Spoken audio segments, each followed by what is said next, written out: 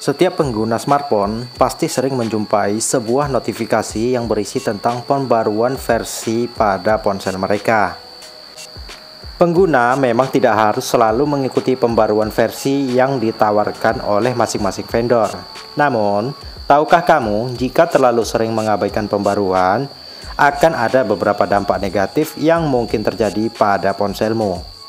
Di kesempatan kali ini, kita akan bahas beberapa dampak negatif yang mungkin akan terjadi jika kita tidak melakukan pembaruan versi Android pada ponsel kita.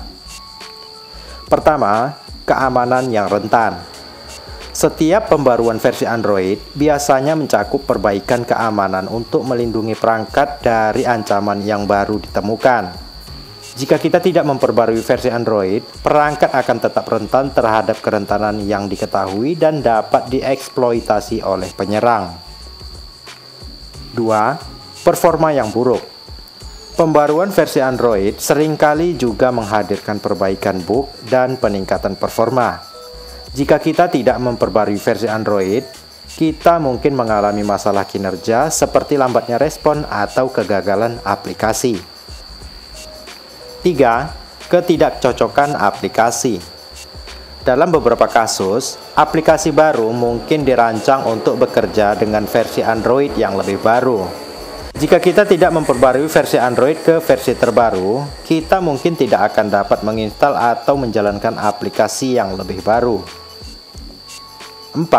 Fitur yang terbatas Setiap pembaruan versi Android biasanya membawa fitur baru dan peningkatan fungsionalitas. Jika kita tidak memperbarui versi Android ke versi terbaru, kita mungkin akan melewatkan fitur-fitur baru yang harusnya berguna untuk meningkatkan pengalaman pengguna. 5. Dukungan yang terbatas. Produsen perangkat dan pengembang aplikasi cenderung fokus pada versi Android terbaru. Jika kita tidak memperbarui versi Android ke versi terbaru, kita mungkin tidak akan mendapatkan dukungan teknis yang memadai atau pembaruan aplikasi dari pengembang.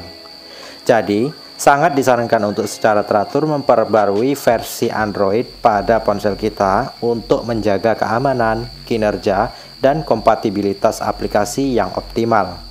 Semoga informasi ini dapat bermanfaat Jangan lupa subscribe channel ini untuk tahu informasi penting lainnya seputar teknologi. Terima kasih sudah menonton, selamat beraktivitas dan sampai jumpa di video selanjutnya.